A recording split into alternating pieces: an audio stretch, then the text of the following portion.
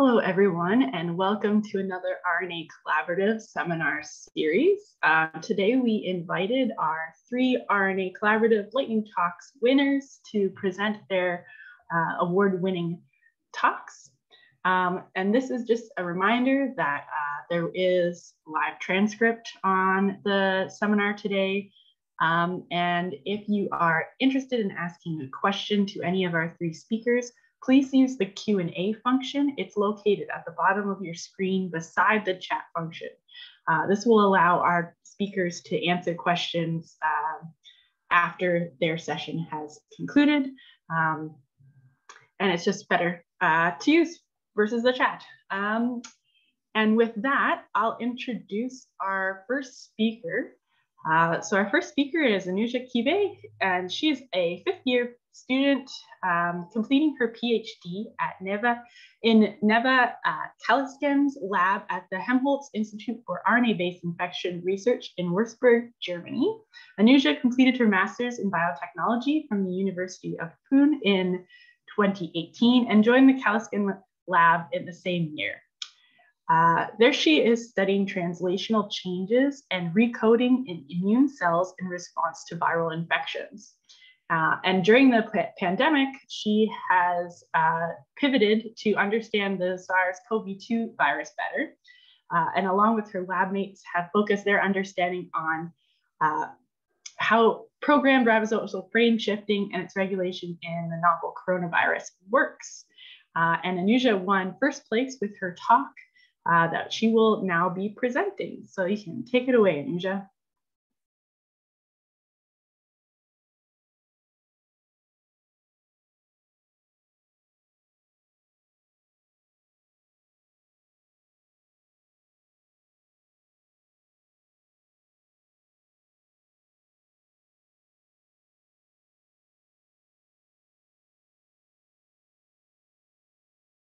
But like most PhDs, I can't answer.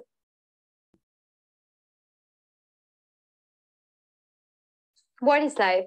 Now, as a PhD student, an existential crisis is a regular part of our lives. But like most PhDs, I can't answer this question because, well, we don't have a life. So, how do we answer this question? Science. Now, life starts with DNA, which makes an RNA, which further makes the protein that we all need. Or maybe perhaps life is a piece of cake well said, Plato. Now imagine the DNA to be a cookbook that you would like to bake a cake from, but you don't want to get the book dirty. So the recipe is copied on a piece of paper, which becomes your RNA. The amino acids are all the ingredients you use to bake the delicious cake you want. Now let's see the recipe here. One egg per try. As you can clearly see, I haven't baked a cake before, but bear with me. You can read the instruction. It's four words, each with three letters. When read as a triplet, it makes complete sense, and so does the sentence. But if you shift the letter, there's not going to be any cake.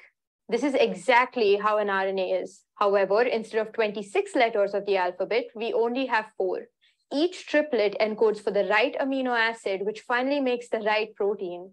Now, this process is called as translation. Now, like with the recipe, if you mess up the reading of the RNA, the protein is not formed you can say that it was lost in translation. Now, the molecule doing all the work of making the protein is called a ribosome. It's a new day, it's a new RNA, and the ribosome is all set out to make protein A. Now, every story has a villain, and here comes ours SARS CoV 2, the sole reason that had the entire world baking countless banana cakes at the same time. Now, we've all heard that viruses manipulate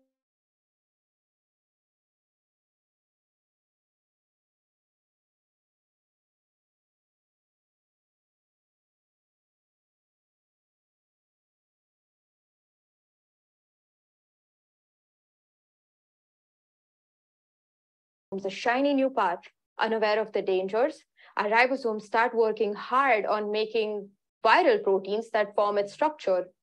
Now, the virus has not had enough. It wants more. A SARS CoV 2 virus is actually quite tiny.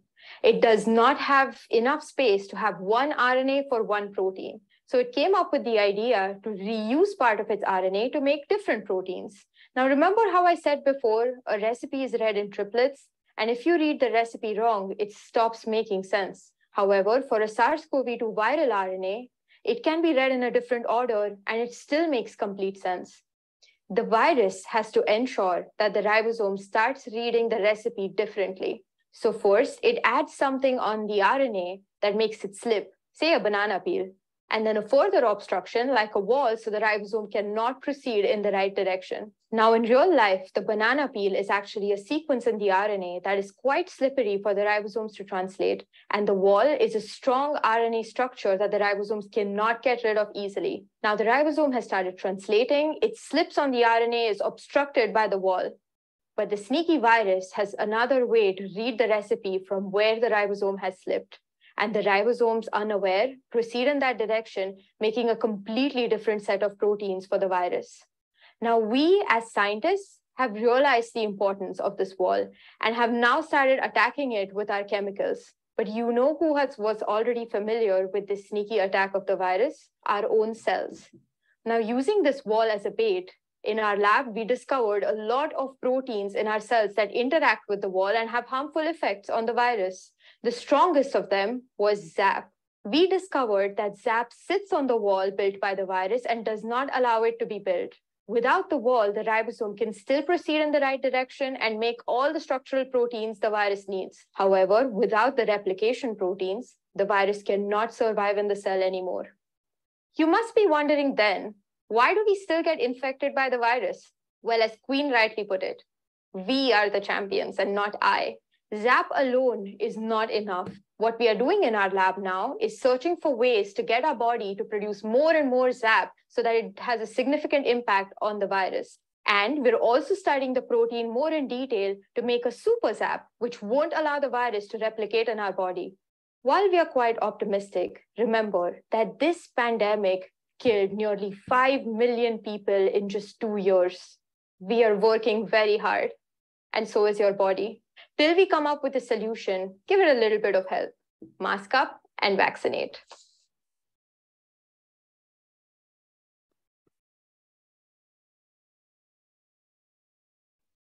Thanks so much, Anuja.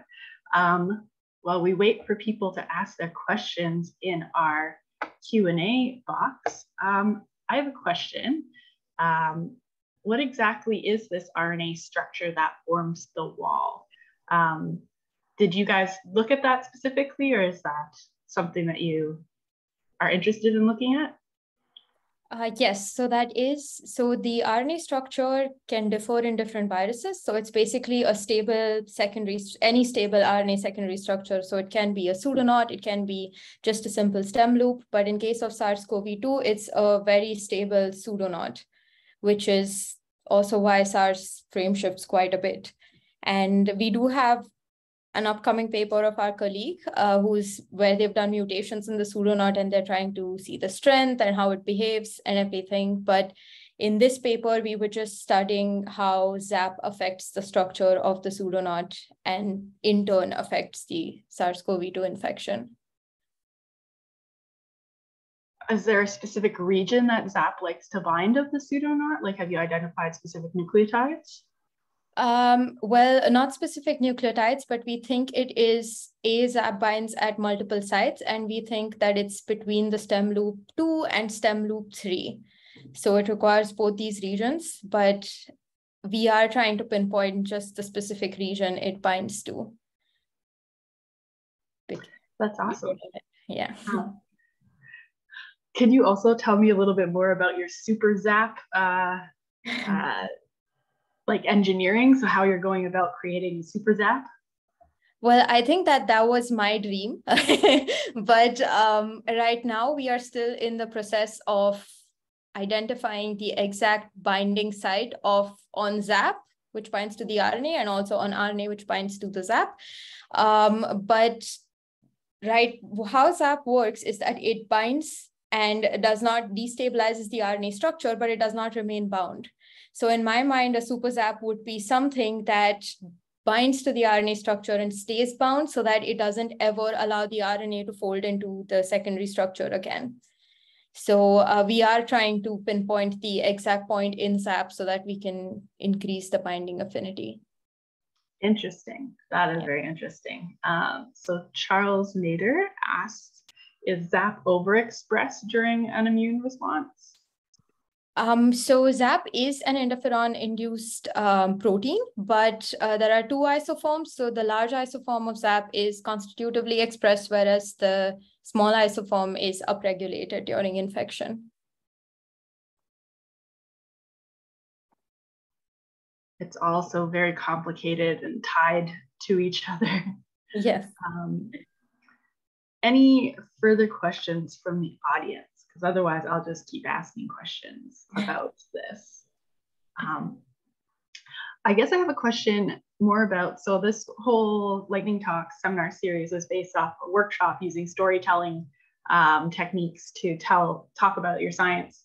Um, do you think this is like the best way or like uh, a more audience friendly way of communicating science? How was your experience with the workshop so um, i think that communicating science as a story is definitely um, it definitely makes it more interesting for general public so even for scientists that are not in my field so for example fabian and uh, gabriel's area of study is not something in my expertise. So it was definitely easier for me to understand their research when it was communicated as a story, because I think the brain just kind of comprehends everything when it's presented as a story.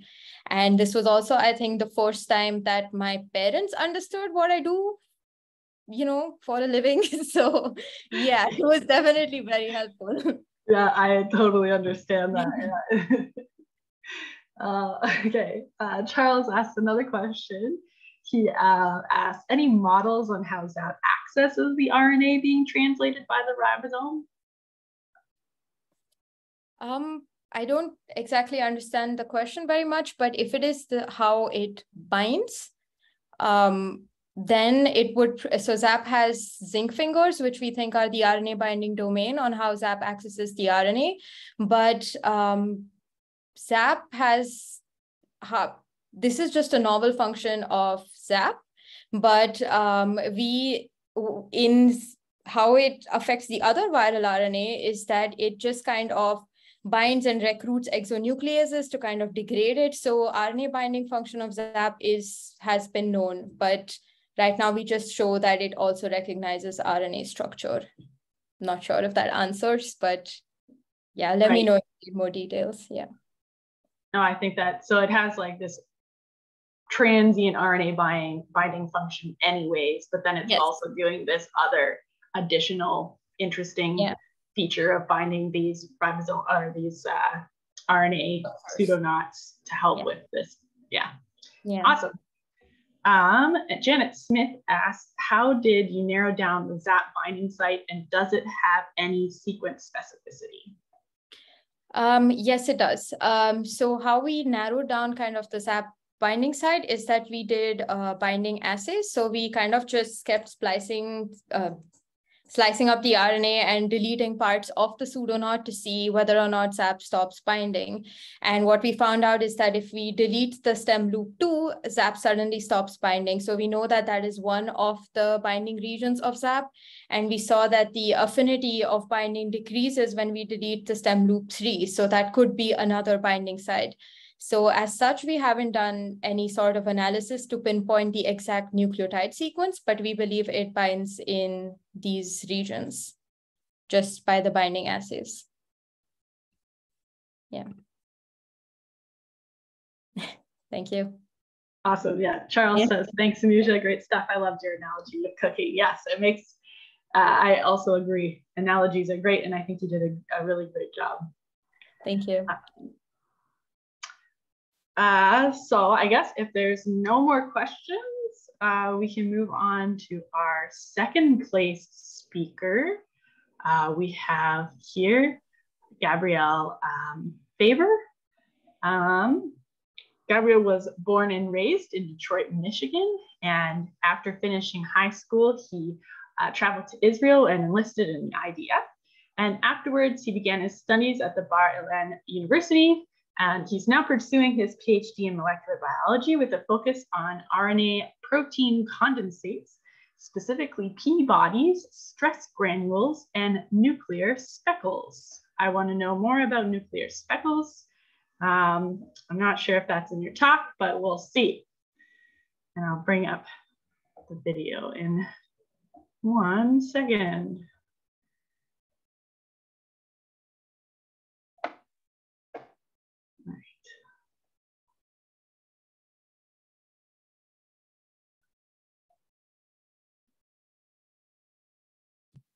Hello, everyone. Thank you for tuning in to this lightning talk, where hopefully we'll talk about cytoplasmic stress granules and how we can use them to better treat cancer.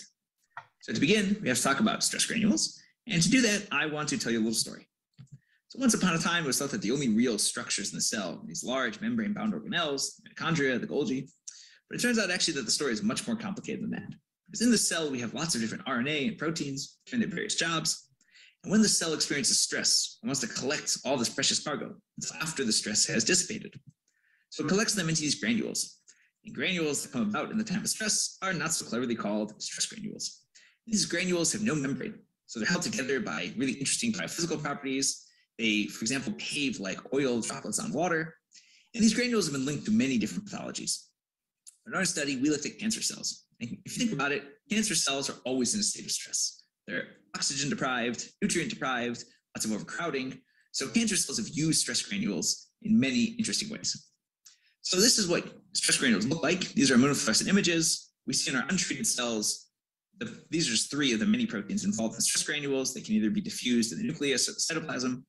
And when we induce stress, in this case, arsenite, a heavy oxidative stress, we see these granules begin to form in the cytoplasm.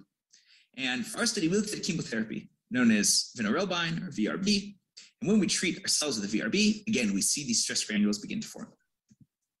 Now, to make our study a little more clinically relevant, we use a model known as patient-derived organoids. Now, when you grow cells in a monolayer in a plastic dish, so you can get a lot of information from that. But that, of course, isn't how cells grow in the body. Tissues have a 3D structure, which is very important to how they behave. So when we grow our organoids, we use scaffolding and give it a 3D matrix so that the these cells, these organoids, will behave much more like tissues in the body. And when we treated our healthy breast organoids with arsenite, we saw stress granules form nicely in the cytoplasm. But when we treated with, with VRB, the concentration we were used to using, we saw no stress granules form at all. But when we treated our breast cancer organoids, now we all of a sudden started seeing stress granules form in the VRB treatment as well. So this made us ask two questions. Why are the cancer cells behaving differently than the healthy cells? And second of all, can we leverage these stress granules to better treat the cancer? So what we did was we co-treated our chemotherapy with a uh, corticosteroid, in this case cortisone, and this is something that's done fairly often. What we saw is that when we treat with very low levels of VRP, in this case 50 micromolar, we saw no stress granules in the cytoplasm. When we added our cortisone, we augmented the treatment with the steroid. Now all of a sudden we see a huge abundance of stress granules. But even more interesting is that as you increase the concentration of VRB, you see a huge increase in cell death that we didn't see when you don't treat with the cortisone. So what we're seeing then is that the cortisone augmentation to the chemotherapy is not only enhancing the rate at which the stress granules form, but also increasing the cell death. So we went back to our patient-derived organoid model, and we saw that in healthy tissue, we didn't see any stress granules, both in the VRB or the VRB and cortisone treatment. But when we treated our cancer organoids with the same treatments, we saw the stress granules begin to form. More importantly, we saw the cell death in the VRB and cortisone treatment. So why was this happening? So to save you guys the long story, we're not going to go into all the Western blot and all the validation we did with immunofluorescence. But to, to, to sum it down, we see that there are many kinases that are active when stress granules form. VRB is activating one of them. The cortisone is actually activating second kinase. And this second kinase is rapidly enhancing the rate of stress granule formation. But more importantly, and something we'll see in a second, is it's also changing the properties of the stress granules. One of the ways we looked at this was rinsing out the treatments. Because of course, when you rinse away the treatment, the stress granules are supposed to dissolve and the cell is meant to return function as normal. And we saw this when this when we treated with VRB and rinsed it out. After about 30 minutes, we saw these stress granules disappear, and that's how it stayed through the rest of the treatment. However, when we treated with VRB and cortisone and then tried to rinse out the treatment, we saw the stress granules linger. And this impaired clearance is something that's linked very heavily to many different pathologies. And we see that throughout the entire treatment, the stress granules are still there. And we're able to quantify this, and we see that there's a very quick dissolving when we treat with just VRB. But the VRB and cortisone stress granules, those linger much more. And there's something about the biophysical properties of the stress granule that's changing that's causing this impaired clearance, which is very heavily linked to the cell death. So just to go back to what we had seen before, we see that by better understanding the molecular mechanisms of the stress granule formation, we can not only enhance the chemosensitivity of the cancer cells, but hopefully also improve patient outcomes. So thank you very much for listening.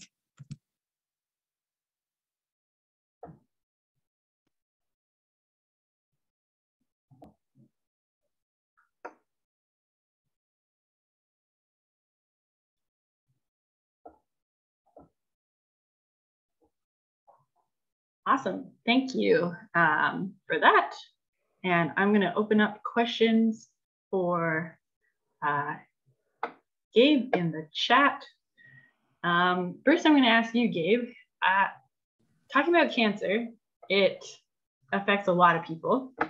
Um, how do you explain your work to, you know, your friends and family, or just like your neighbor or whatever, and try and make it easy for them to understand? So it's a great question. I think it's actually something that I'm not terribly good at. Um, but I think one thing I try to impress upon people is how, you know, we talk about cancer in very grand terms. And it's important, you know, when we're telling the narrative of cancer and how it affects people globally. But I think it's always kind of important to, you know, zoom down and try to get people to understand that there's actually a molecular mechanism involved. And sometimes what can make a cancer, you know, chemo resistant or more aggressive can often be very, very small things. And I think that um, when people understand how things on the molecular level and the RNA level, you know, can actually have hugely outsized impacts, you know, what people would expect. So um, I don't know that I, I think actually the workshop helped me a lot actually in kind of telling the story better. Um, but I think that that's kind of the message I try to impart to people. And if I can do that well, I think oftentimes it's really exciting. So we have uh, from Preeti, Preeti uh, why were breast organoids chosen? Um, and was it tested with other systems as well? So it's a great question. Um, we looked at um, lung organoids also. The reason why we chose breast cancer organoids was because we actually were able to take healthy tissue and cancer tissue from the same patient. Uh, maybe I didn't clarify that. So um, we do have lots of different organoids. Um, from you know different tissue samples but it was cool to look at again the same person actually just um, you know different tissue uh, coming from the same patient. So that was a real advantage. Yeah i'm sure that's easy, that's much easier. You have a built-in control group right there right? Um, so charles asks again uh, vrb seems to increase phosphorylation of eif 2 alpha, so cap-dependent translation initiation is likely stopped. Is this sufficient for cell death or are the stress granules required? So uh, this is a big question uh, that the reviewers really um, were interested in because, of course, you know, phosphorylation of EIF2 alpha is connected to lots of different processes. If anyone, any of the uh, attendees, you know, that's probably something that, you know, oh, I know what that is. Um, so first of all, this is actually only like one arm of stress granule formation. Um, there's sort of two different legs. This is the integrated stress response, which deals with the, uh, the EIF2 alpha. Um, one thing, at least for this mechanism, why we are um, pretty convinced that it is stress granule dependent is because in knockout cells that can't form stress granules, so we actually see a huge change in the cell death mechanism.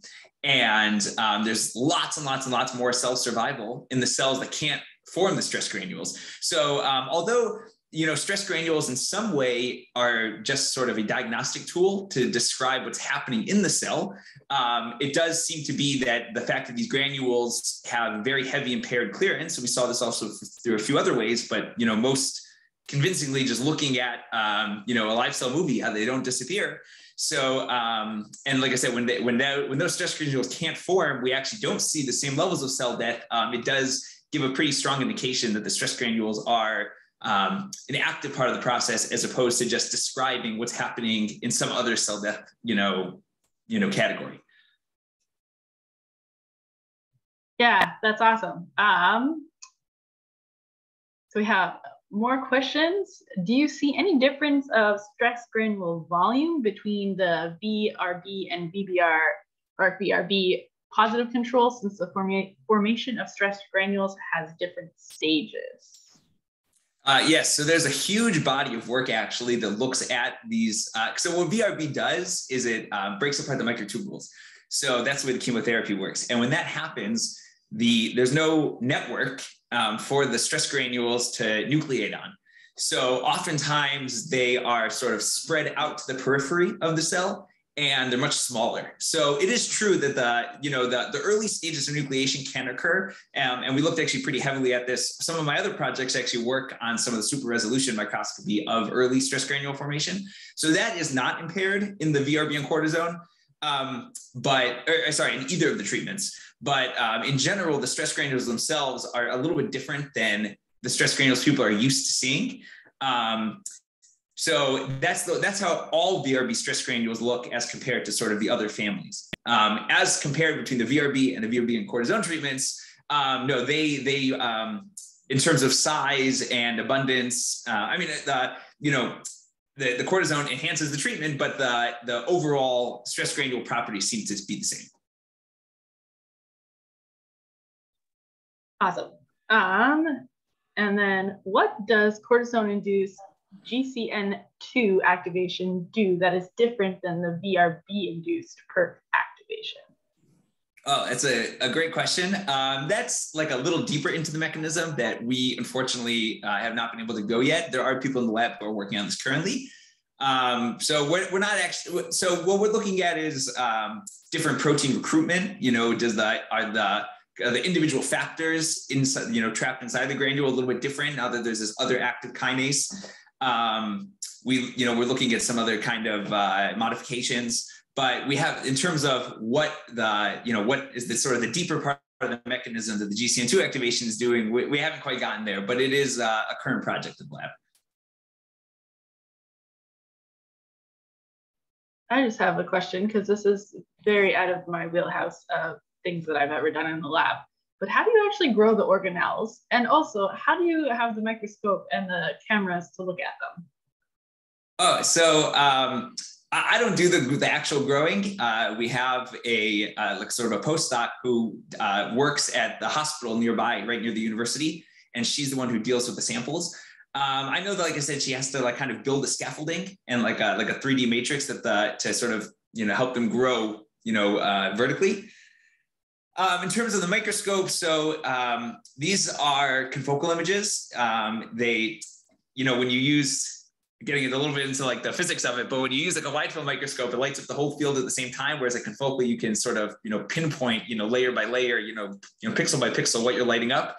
And if you light it, you know, it, it doesn't it doesn't image well uh, in the, in the non-confocal microscope. And you also have to use the lens that's far enough away um, to like give yourself enough working distance to, to capture the whole thing. So it is a little bit more challenging than just imaging on a slide, um, but it's not not terribly complicated. But and it gives you cool images like that. Yeah, yeah, and then afterwards you can take those to like you know uh, we use the Amara software, but there's lots of 3D rendering software, and you can kind of see how they cluster together. It's it's really cool. That is cool. Um, oh, one more question from Charles. So do can cancer cells form more stress granules with different sizes compared to normal cells? Oh, that is a good question. Um, I don't think so. Um, I think in terms of size, they they're uh, relatively the same. Um, I just the the cancer cells again are, are using them in sort of more clever ways because they're experiencing different cellular stresses than than than healthy tissue. Like I said, in some ways, you know, you can talk about it that they're constantly in stress. Um, again, kind of the hypoxia, you know, nutrient deprived. So that's how they've kind of leveraged stress granules in interesting ways. But I don't think that the sizes are different. Um, but like I said, one thing that you know is an interesting feature when you're using these chemotherapies is that because they they move much more freely in the cell because they're not anchored to the microtubules and they don't have those, sort of bridges, those connective bridges to nucleate on. Um, the stress granules are, like I said, very small and then they're distributed differently. So, so they, they the when you use the chemotherapy, then you do see something very different. But um, I don't think the cancer cells, the the the, the sizes and things are, are you know radically different.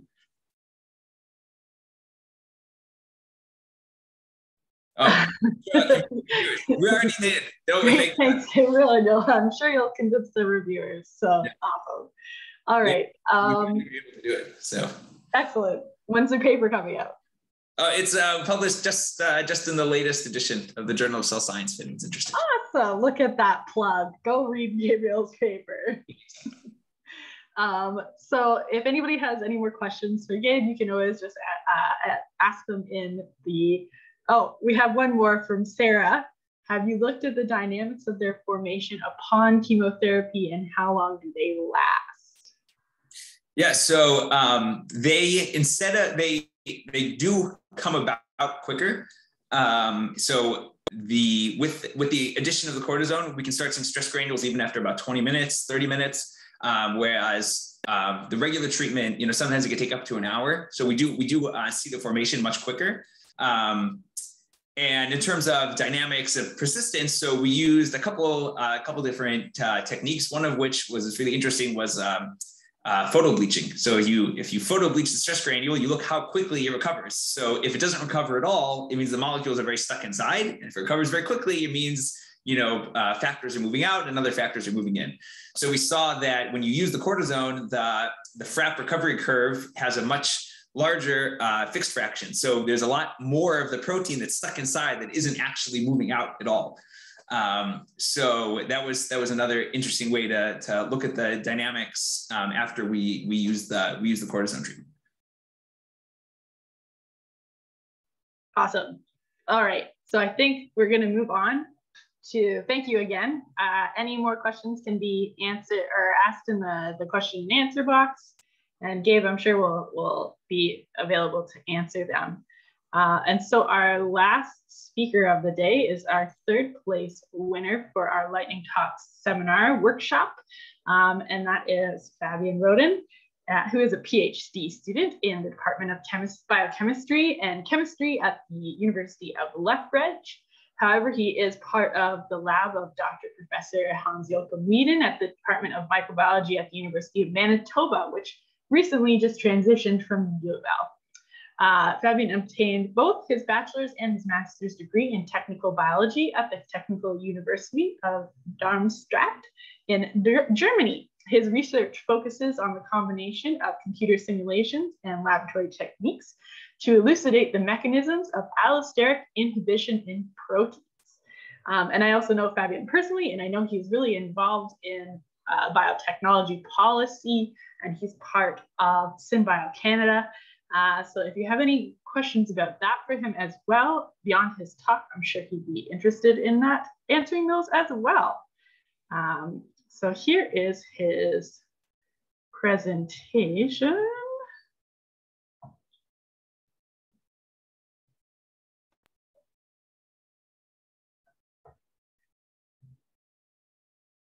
Hello and welcome to my lightning talk. My name is Fabian Roden and in this talk I want to present to you my idea on how viruses could be blocked from gaining drug resistance through evolution. First of all, what are antiviral drugs? After vaccines, antiviral drugs are our second line of defense against viruses. Unfortunately, vaccines are not always available for every viral infection, and even if they are, they may not offer complete protection. Vaccinated people can still experience severe diseases, facing hospitalization or even death. Furthermore, infection can have negative long-term effects, as a current example of long COVID shows. Antiviral drugs can help to stop the virus faster and reduce the potential for long-term effects. Now, my story would end right here if it wasn't for evolutionary escape. This is a mechanism that helps viruses to overcome drugs. An antiviral drug targets a part of the virus that is essential for virus production. A good target are viral polymerases. These enzymes copy the genome of the viruses. However, once a drug blocks the virus, this puts evolutionary pressure onto the virus to find a mutation to escape. A mutation that renders the drug unfunctional whilst keeping the polymerase functional, also at low efficiency. Due to the natural selection of evolution, only viruses having such a mutation will survive the drug treatment and will then multiply again. The bitter irony is that using antiviral treatments is also the most efficient way for viruses to become resistant against such treatments. The current method to combat viruses is to give patients a drug cocktail consisting of two or more drugs. The drugs target different parts in the viral replication machinery.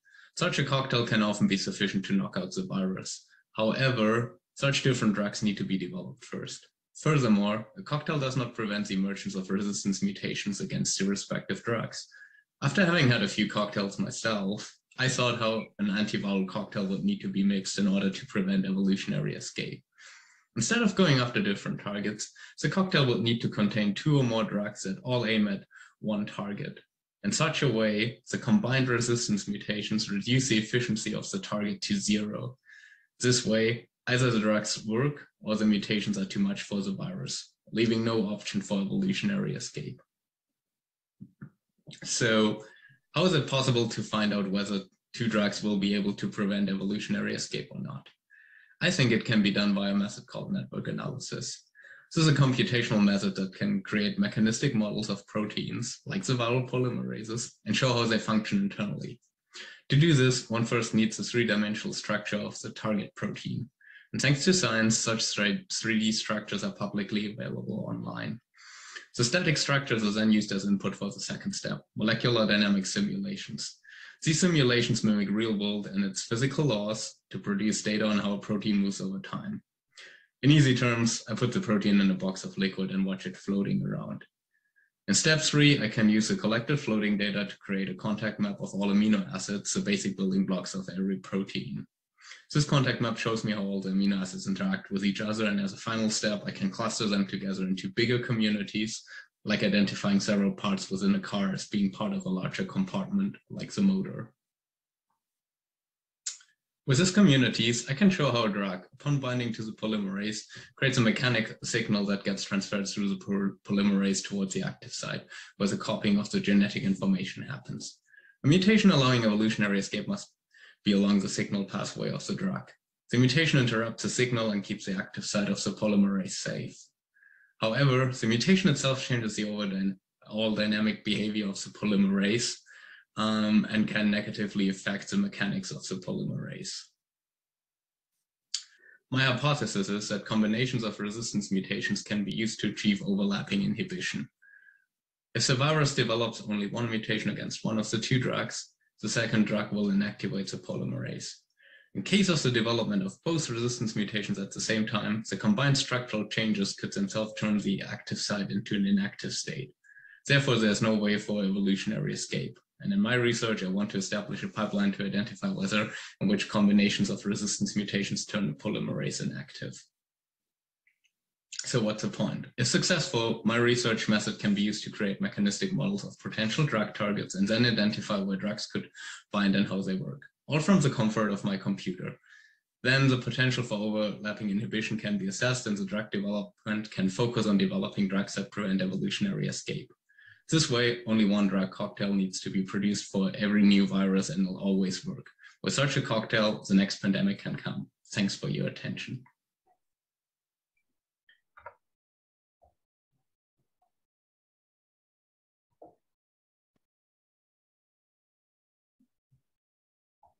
Awesome. Thanks, Fabian. Um, I'm going to pose the same question to you of how you think that the workshop really helps um, talk about your research uh, to various different audience groups. I would say for me personal the the biggest experience was to see or like to really detailedly have elaborated that there is no clear answer. Like, for example, when I watched the videos, my two favorite ones were also the ones here that are number one and number two.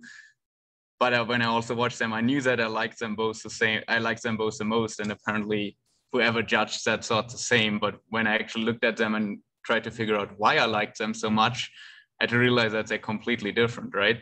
The first one is very nice. And as Anuka said, her parents for the first time understood what she's saying because she talks about cakes and Play-Doh and has a skateboarding ribosome and everything.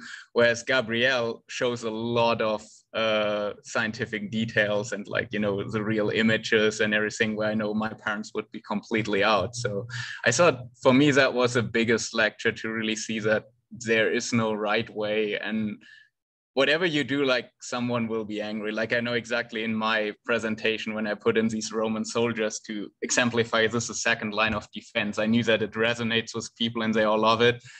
And I knew that my professor would would turn my head off if I would that use that in any other presentation because like that has nothing to do with it. It's not specific enough. And so I guess the best thing from that workshop, and it was really good at that, is showing like there's no real way and you really need to kind of figure out what fits your audience, but also your personality.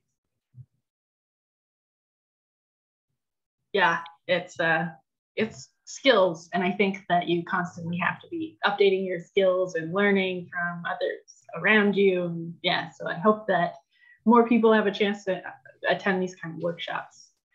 Um, so Charles has a question. Are you focusing on hotspots within cavities and active sites, or are you also at the surface of the, or also at the surface of the proteins?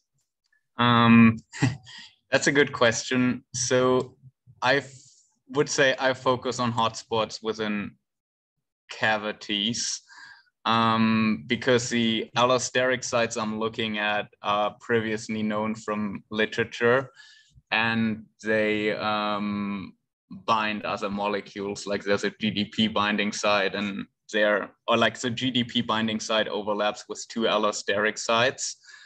Um, however, what I'm trying to do is and that's kind of where I want to go at the end that it doesn't really matter whether it's cavities or surfaces because there's a large research going on on how to find these allosteric sites and that's really amazing and, and very cool and there's progress and what i kind of want to do is once you have these allosteric sites or you have an idea where you are you can look at into the mechanics so that's why i like to do the network analysis to look okay what happens like how is the active site connected with the allosteric site and what would be really cool in the long run is to go the other way around, to have a protein, make these network analysis and look from the active side, okay, where are potential allosteric sites? But I know that this is very tricky. So maybe to be to be more precise, I kind of piggyback on all that research on allosteric sites and how to discover them and use that kind of as my input to say, I want to have two drugs or two resistance mutations. I want to see which one works best. And it's kind of on top of that.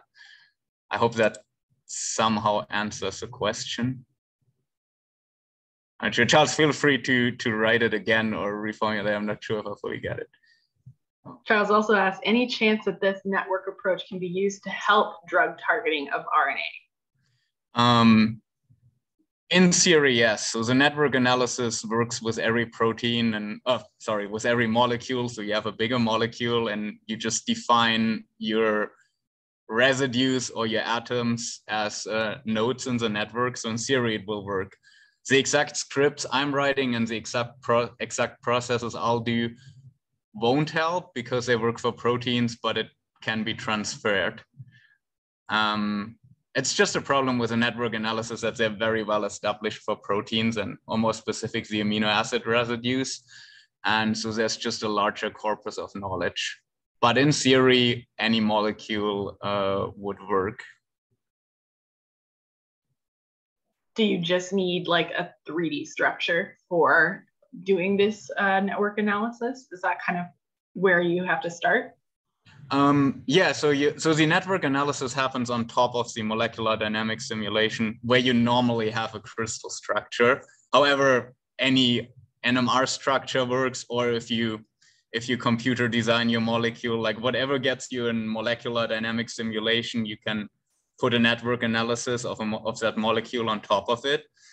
Um, but the other thing you would obviously know when you want to uh, when you want to use that method efficiently is you need to know the binding partners and preferably have a crystal structure of your molecule. It's let's say a, a large RNA and a molecule that binds to it. Let's say already a drug.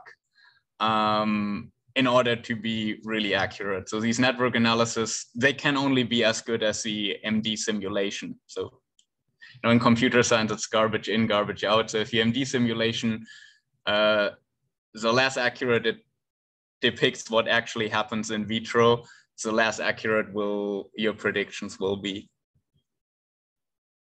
and then do you, you're, I'm assuming you're validating all of these uh, in silico bindings that you're, that you're recording um, and you're testing them in the lab? Yes, yeah. So that so that's uh, I guess five minutes aren't enough, but that's kind of the main point. So I want to I want to use um, an already well-known system. So in my case, the polymerase of hepatitis C. A lot of allosteric sites, lots of known resistance mutation, lots of known um, inhibitors. Use them as my test set in the computer. Check it in in reality, so to say. So have in vitro the activity of the polymerase with different resistance mutations and inhibitors and see how much does that match my computer simulations or my network analysis and then kind of have a feedback loop to update that. And I guess that will be the main part of the work. So, so far as the idea, and then the question will be how, how close can we get? And my expectation will be, um, it would be really good just to help to have like candidates for allosteric uh, for overlapping inhibition because when you when you look at that large range of inhibitors and the large range of targets um, like it's one polymerase or one protein from one virus um, in the long range it would be good to just have a computer model or a script you can run to say like okay these are all my drugs these are all my targets what would be like give me the top 10 or the, the highest scoring most likely to have overlapping inhibition so that you can save checking them all in the lab. And I fear we'll have to do something similar. Like I won't be able to run 200 activity assays, but I'll we'll have to kind of tune it down to the uh, best examples or the ones where I, where I can learn the most of my system. Preeti just asked, would this approach work regardless of if the virus is a DNA or RNA virus? um, yes, actually, it would. So the idea is one looks at one target, in my case is protein. And as long as you can inactivate the function of that protein, um, the concept of overlapping inhibition would work. So if that very same polymerase would not come from um, a virus, but from a pathogen, like I don't know, like some some E. coli, some other virus, or or even a human protein, the concept is the same. So the idea is really you have these known drugs, you have the targets, and you just want to try. I just want to predict to which extent um, is the inhibition overlapping and do the resistance mutations um, block each other. So it actually just looks at the protein level, which my lab tests are then in vitro. So I don't use hepatitis C viruses or infect any cells. I really just look at the polymerase, my inhibitors, and how good can the polymerase do its job um, of producing RNAs. And that is that is all I do. So it's absolutely independent from the host. It just looks at singular proteins and inhibitors that bind to it. So, sorry, technical question. So, are you going to uh, like overexpress um, these different variant proteins and then just do in vitro transcription on RNA and then level me measure like how much their RNA like manufacturing is is affected? Yes, in, in easy terms, yes. So the, the assay I, I use is called the uh, RNA dependent RNA polymerase assay. Very straightforward. So it's very old, and this is how they how you in the lab first test the efficiency of, of any drug that, that targets your virus. You see, okay, does it affect the polymerase? And later you try it in, in infected cells and then in, in patients. And I do exactly the same. And it's very similar to an in vitro transcription, just that you use radioactivity to see, okay, how much have I produced? And you just compare it to the wild type without, um, without any inhibitors or mutations present, and then you get your efficiency. Awesome. Um, I open it up for last call for questions for any of our three speakers, because um, otherwise I think that's pretty much it for today. Um, so thank you, I guess, all again, uh, Anuja, Gabe, and Fabian for being here today, and congratulations on winning uh, our first inaugural RNA Collaborative Seminar Series Lightning Talks Workshop. Um, and yeah, and our next uh, RNA Collaborative Seminar Series will be on September 7th at 4 p.m. Eastern Standard Time with UMass Medical School, the RNA Therapeutics Institute. Uh, so keep your emails uh, or check your emails for an invite to our next session. So thank you once again and have a great rest of your day, everyone.